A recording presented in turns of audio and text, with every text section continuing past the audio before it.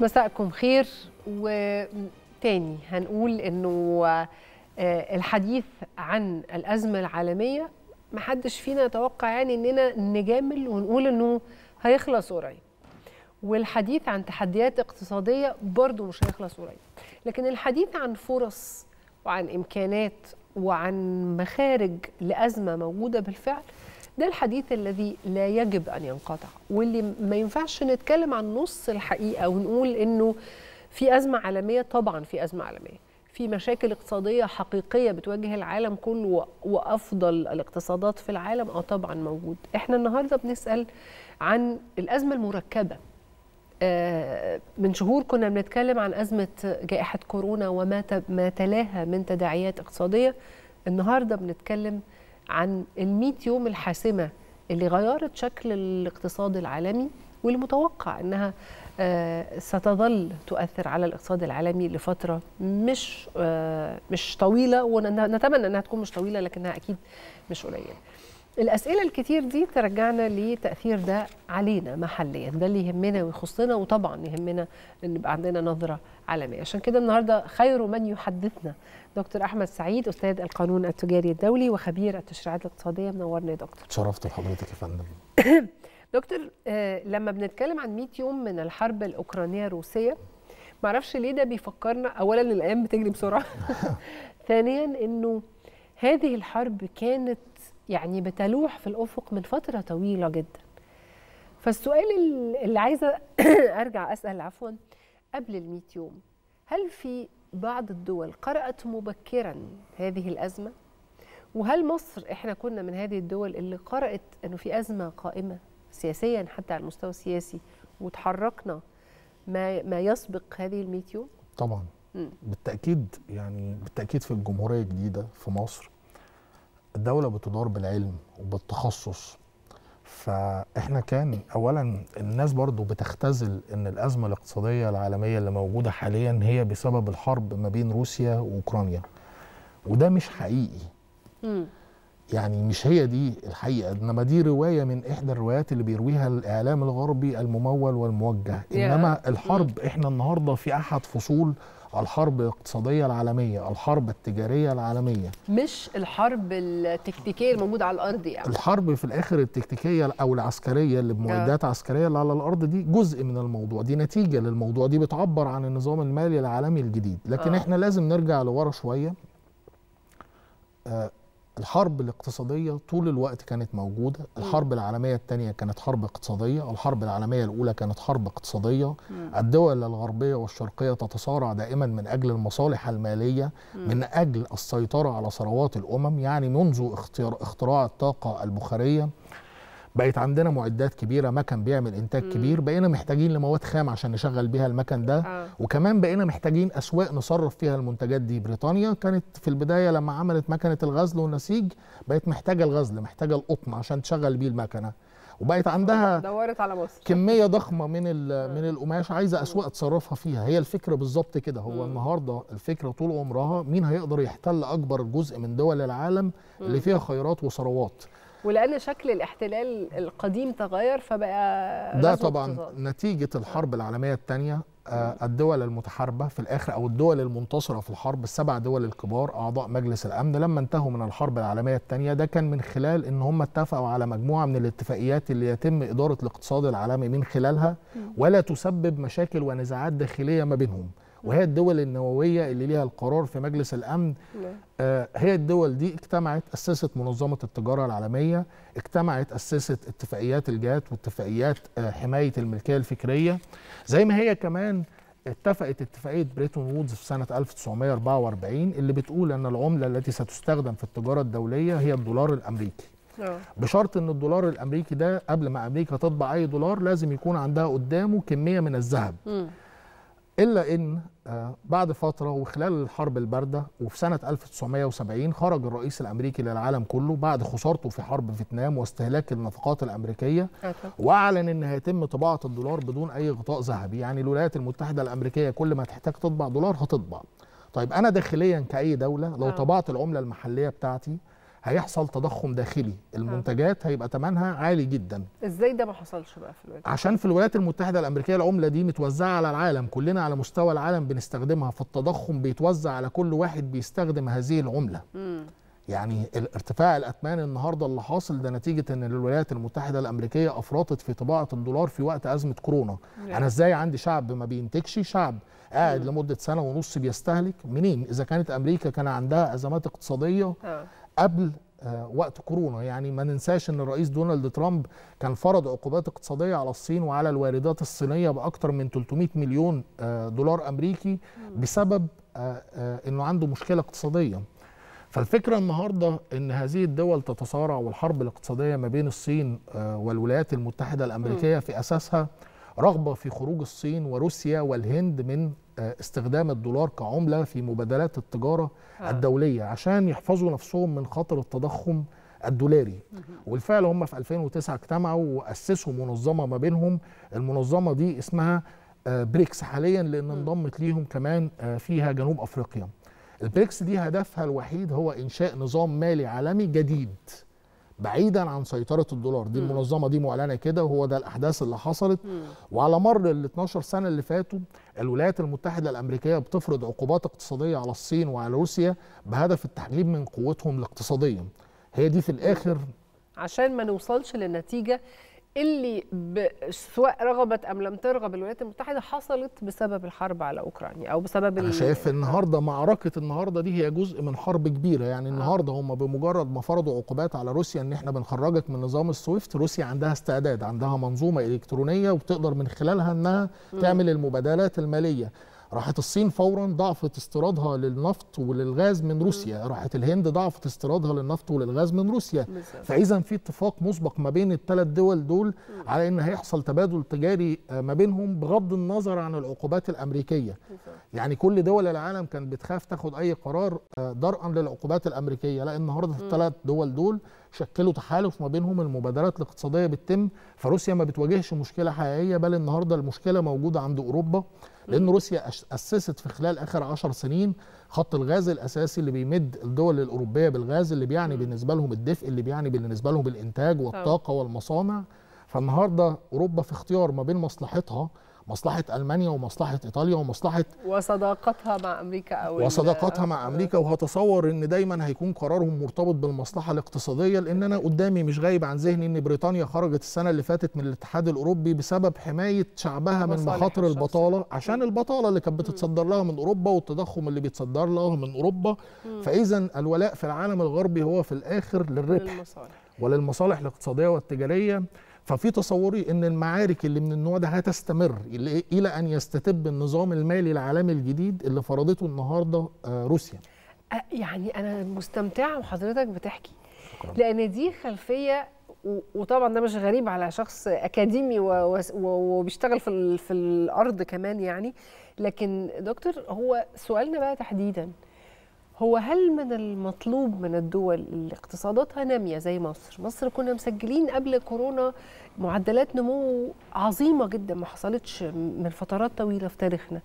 هل مطلوب أو متوقع مننا في هذا النظام العالمي الجديد إننا نسكت ونتفرج إن نكون مفعول به ولا مصر عندها رؤية حقيقية موجودة على الأرض ممكن على الأقل تضمن لنا الثبات لحين استقرار النظام العالمي الجديد ده اللي بالتأكيد هيحصل يعني؟ ولا مش هيحصل. بيحصل. هو النهارده بيحصل. آه. من اليوم اللي حصل فيه مبادلات مالية مع روسيا بالرغم من العقوبات المالية الأمريكية خلاص ما روسيا بتشتغل. آه. فمن هذا اليوم في إرادة جديدة وفي إدارة جديدة للعالم وهم كانت رغبتهم في المنظمة اللي أنا قلت لحضرتك عليها. بريكس. البريكس هي النهارده هدف واضح وهو آه، ان العالم الأوحد معاملات بعملة أخرى غير والعامل والعالم اللي هو ذو قطب واحد ده انتهى في ثنائية في الأقطاب النهارده. الفكرة إن في أزمة عالمية في أزمة عالمية. الأزمة دي راجعة في البداية للإنتاج. في النهارده أي أزمة هيمر بيها فرد أو هيمر بيها مجتمع نتيجة إن هو بيستهلك أكتر من اللي بينتجه. آه. لازم نبقى شايفين الحقيقة. ولازم نكون صرحاء وصادقين مع أنفسنا عشان نغير يعني. بالظبط. هم بيواجهوا مشكلة إن عندهم بضاعة ناقصة في أسواقهم وده راجع لعدة أسباب إن محدش كان بيزرع في الموسم الثاني لكورونا لأن الأسواق كانت مشتتة. محدش كان عارف كورونا هتنتهي إمتى فالمنتجات الزراعية زادت. لما هيرجع الإنتاج لطبيعته هتنخفض أسعار المنتجات الزراعية. فده على بداية الموسم الزراعي الحصاد القادم إن شاء الله. طيب يعني أنا لو عندي إنتاج وزودت في إنتاجي أنا هخفف من حدود المشكلة دي بالنسبة لي. حلو قوي أنا كفرد أو أنا كمجتمع أو أنا كدولة أنا النهارده كأي واحد فينا عنده استهلاك أنا ما بنصحش الناس أقول لهم قللوا في استهلاككم وشدوا الحزام لا أنا بقول للناس اشتغلوا أكتر. زود أنا. بشتغل دلوقتي 8 ساعات والدخل بتاعي مش مكفيني أنا هشوف شغلانة تانية وهشتغل 14 ساعة. أنا بشتغل 14 ساعة ومش مكفيني هدور على تخصص تاني. آه، هفكر إزاي أغير آه، الكارير بتاعي؟ هفكر إزاي أدرس حاجة هتعلم مادة جديدة لو مش هتنفعني دلوقتي هتنفعني بعد سنة. يعني بشكل فردي وبشكل دولي إحنا ما عندناش مخرج غير زيادة الإنتاج. وأنا ما بشوفهاش كده. يعني أنا ممكن تشوفي المشهد على إنه أزمة وأنا ممكن أشوفه على إنه فرصة, فرصة. إزاي من بداية كورونا وإحنا بنتكلم على تغيير سلاسل الإمدادات؟ يعني ده كان المصطلح أو العنوان الكبير في الإعلام الغربي.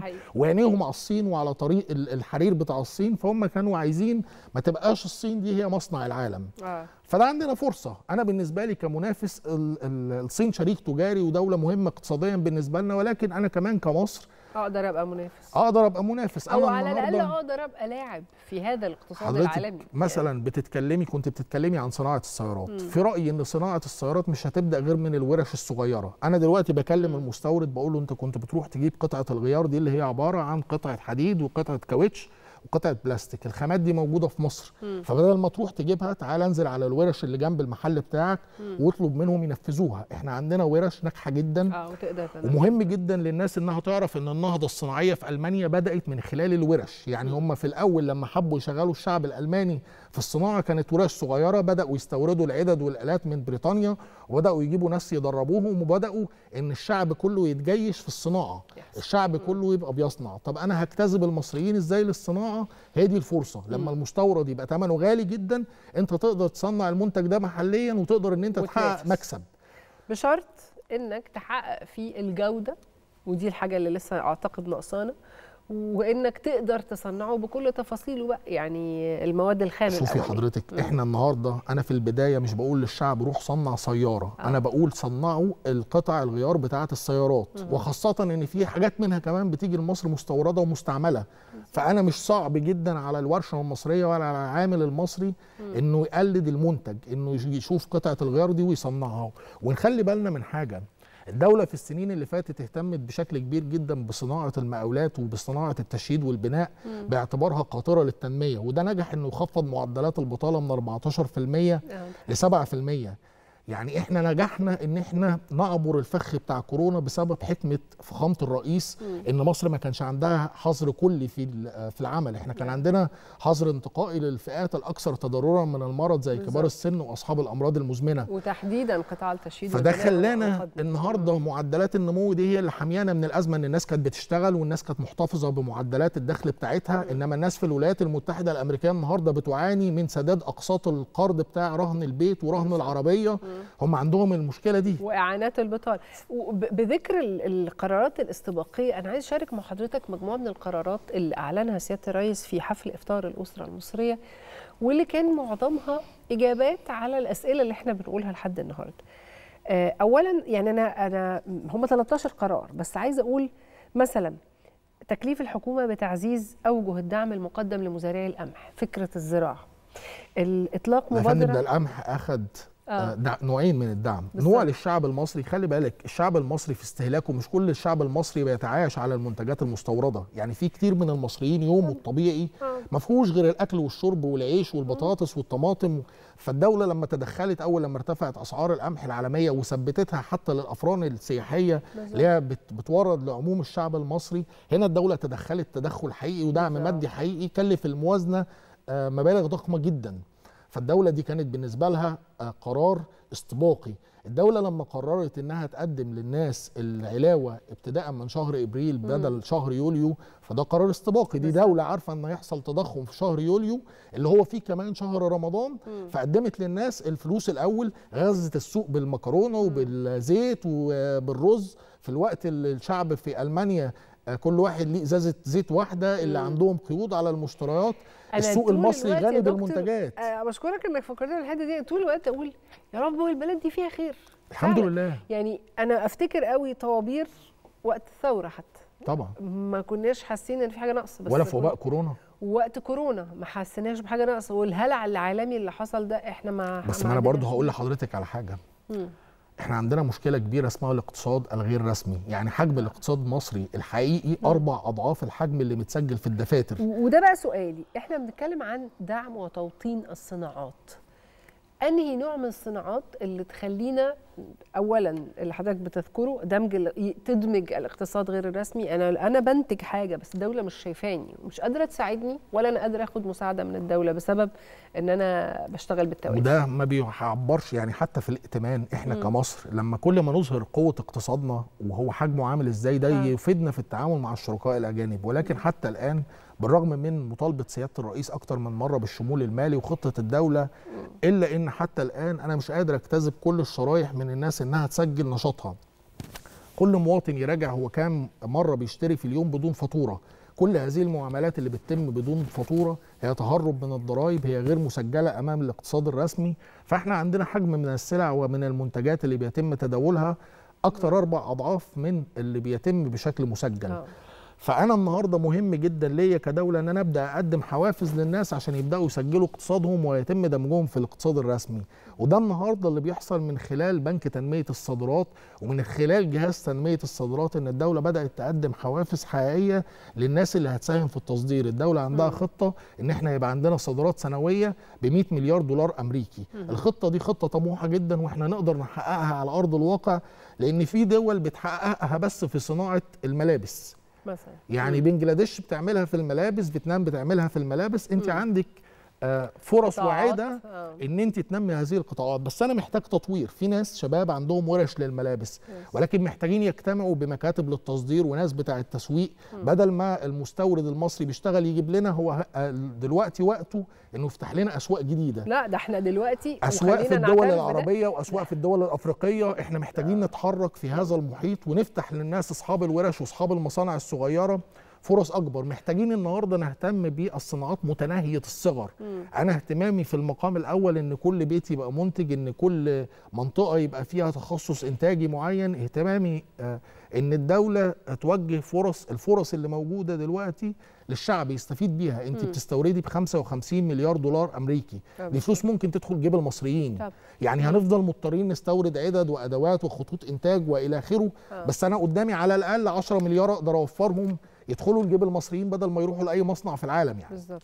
أنا يا دكتور بشكرك لأسباب كتير يعني طبعا آه، يتلو ال- الكلام عن ال- العلم الغزير والمعلومات الكتير لكن كمان لأنك حولت لنا الحديث عن الأزمة إلى فرصة. هي فرصة في الحقيقة. فبشكرك بشكرك يا. دكتور وأنا متأكدة إنه دي رؤية حقيقية للدولة. تاني هرجع أفكر نفسي وحضراتكم القرارات الأخيرة اللي تم إطلاقها هي مش بس آه، قرارات لكن هي قرارات تم تفعيلها بالفعل من ضمنها دور القطاع الخاص القاعدة الصناعية الصناعات الصغيرة المتوسطة توطين الصناعات الوطنية. كل الكلام اللي إحنا شايفينه عناوين كبيرة اللي دكتور أحمد سعيد كان بيشرح لنا تفاصيل وتفاصيل إمكانات حدوثه. الأزمة فرصة وجوه كل أزمة في فرص حقيقية.